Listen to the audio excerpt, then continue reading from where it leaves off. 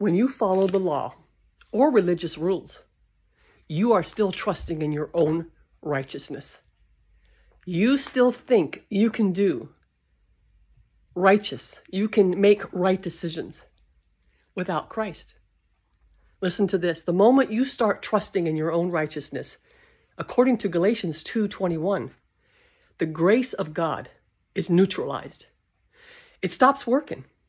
Christ stops being able to affect your life.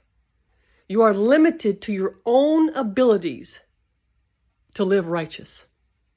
Then you will conquer only the sins that you have the ability to conquer. Now, if you're a strong person, you can live a pretty decent moral life without grace, but you will never enter into rest. You will never experience more, any more in this life than you have the ability to, to produce. I love this. Look at this Philippians 3 9. And be found in him, not having mine own righteousness, which is from the law, but that which is through faith in Christ, the righteousness which is from God by faith. Stop trusting in your own righteous righteousness.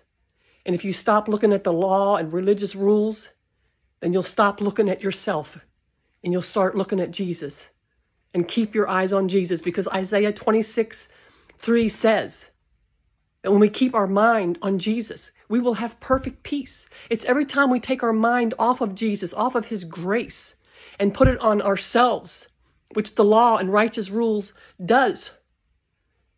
We, we will get depressed. We will feel unworthy to allow Jesus to do anything in and through us. Let this be an encouragement to you.